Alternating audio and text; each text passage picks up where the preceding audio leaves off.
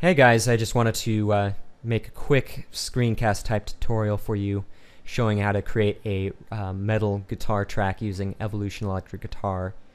Um, so right now as you can see uh, I've already written the drum track and that's using Addictive Drums which uh, by the way if you want any presets for that I've made dozens so just send me an email or whatever and I'll send them to you. Um, and then I have Evolution Electric Guitar and that's going through uh, ReValver, and that's just the special edition that comes with uh, Sonar 7 Producer Edition. Um, so right now I've just started out with a blank preset, and the only thing that I've changed is pretty much uh, just setting it to the palm mute articulation instead of the standard soft sustain that it would start out on. Okay, so here's what the drum track that I just wrote sounds like.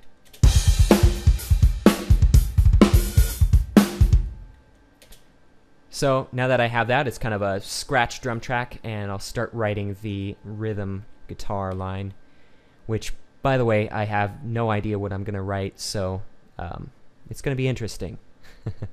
oh, yeah, the um, other thing that I did was to detune the guitar to uh, a low B right here. Um, we've got tuning presets, but it's pretty easy to just drop the E down a fifth or rather not a fifth, but five semitones, which is a perfect fourth.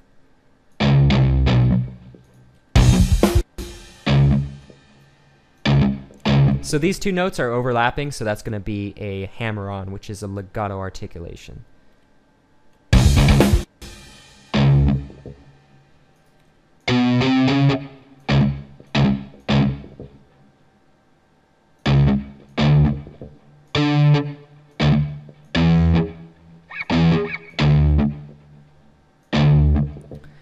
Okay, so if this starts sounding like uh, something you'd hear in from uh, Doom or Duke Nukem or something, uh, apologies in advance. um, hopefully I won't end up having to pay anybody royalties. We'll see.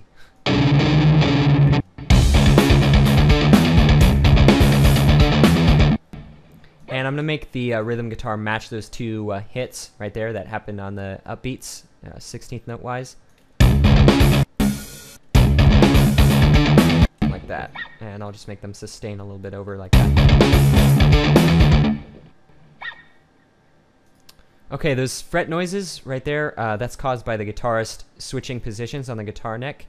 Um, you can turn those off if you want by just putting the volume down to zero.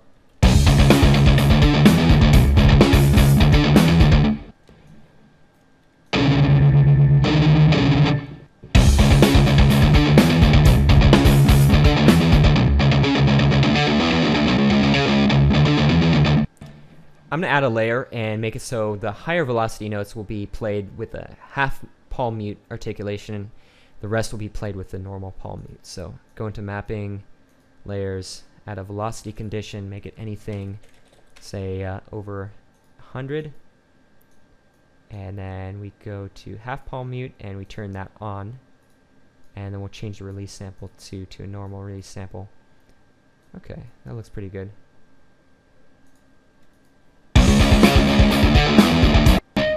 Okay, so we're going to have to decrease the volume of those in order to uh, have them played as the uh, palm mute. And then I'll just get those accents and, and make them louder.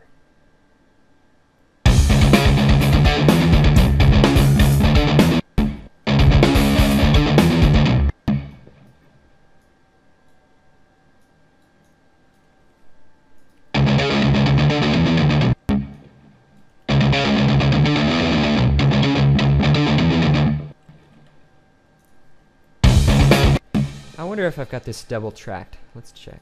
So we go into tone. Let's hear what it sounds like double tracked.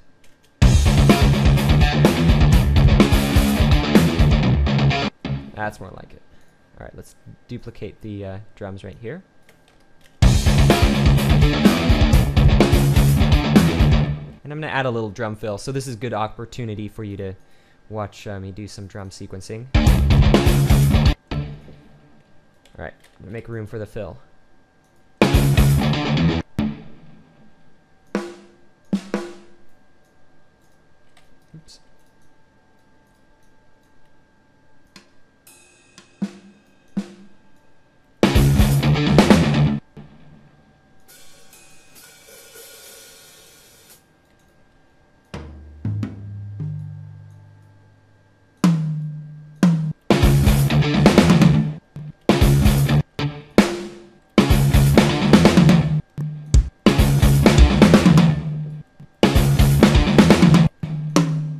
Flam.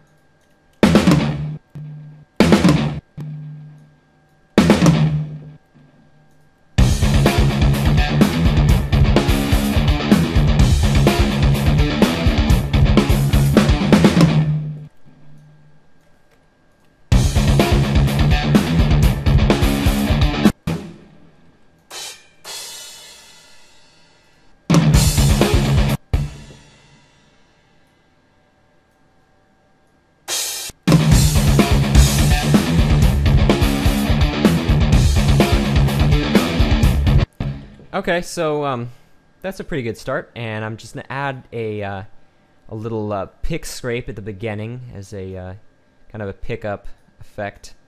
So I'll show you a cool little trick uh, for sequencing. Um, if you don't want to use key switches or controllers or anything, uh, so I go to velocity, and I make it so when you play something with a velocity of one, it's going to play an effect. So we set that to effects and turn off the velocity curve so that there's no velocity to uh, to volume effect. And then all you've got to do is go in here and create a note with a velocity of 1, and then you get the uh, effects articulation.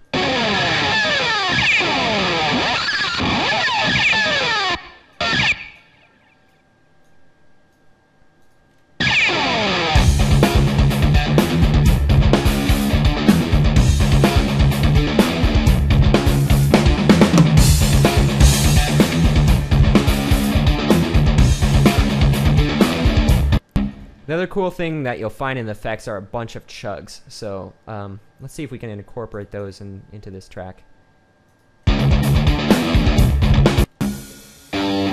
So velocity of 1, and let's go find those chugs. There we go.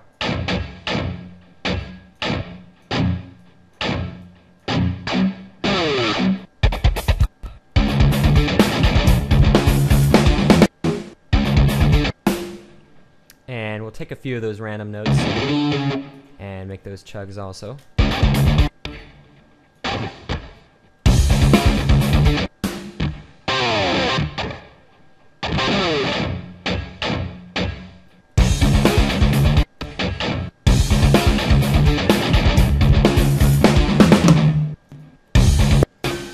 And the cool thing to do um, these days is to add a little squeal in here and there at the end of phrases.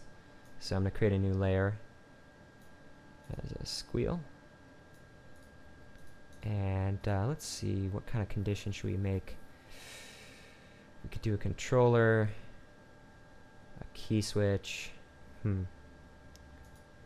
How about we just do a velocity layer? So 127.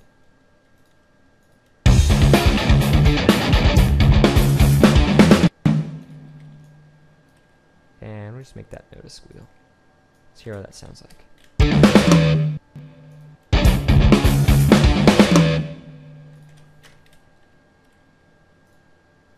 Uh, we definitely need more squeals. Let's see. Now the problem is all these notes have uh, the velocity of 127, so we're going to have to decrease those a little bit so that way they're not also accidental squeals.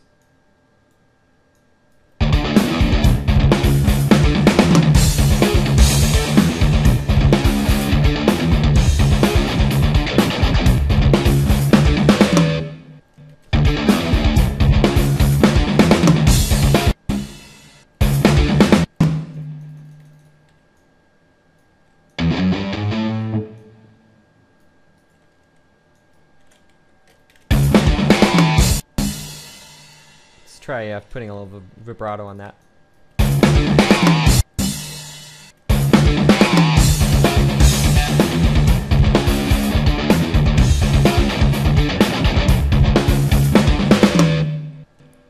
let's see what else.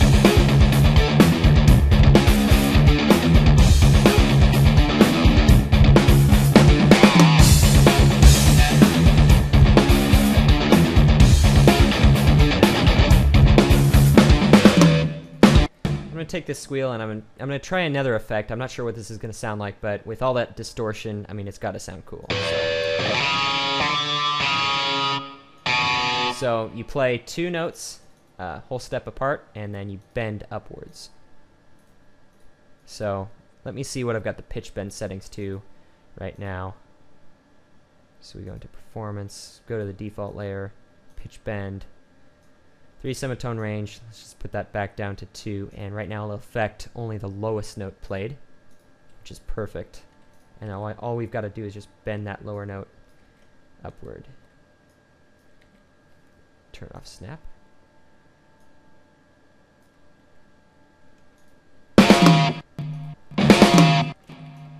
Let's make it a little slower so it's more noticeable.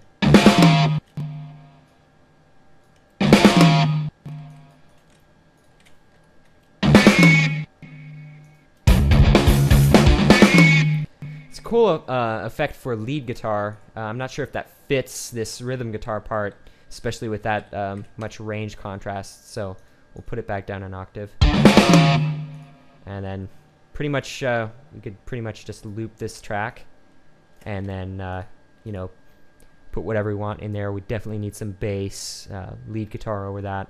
But for the purposes of this tutorial, uh, this is pretty much how I would start out writing a rhythm guitar for, you know, not this is not really speed metal. Um, it's not really slow metal either.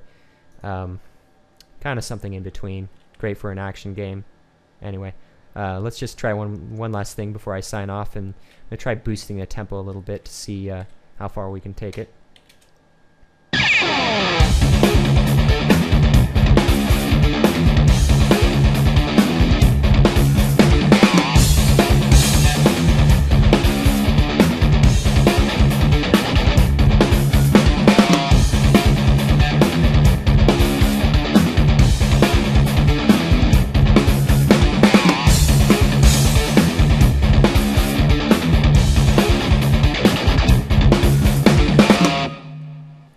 Anyway, so that's how it's done. And I'll hopefully be making more of these uh, sorts of uh, video tutorials for you.